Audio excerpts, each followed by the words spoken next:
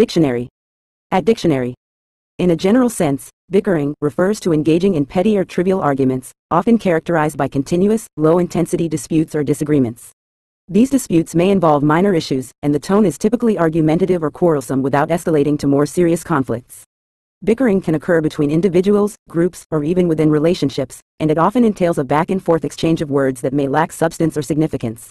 While bickering may not lead to major confrontations, it can create tension, annoyance, or a sense of discord within the involved parties.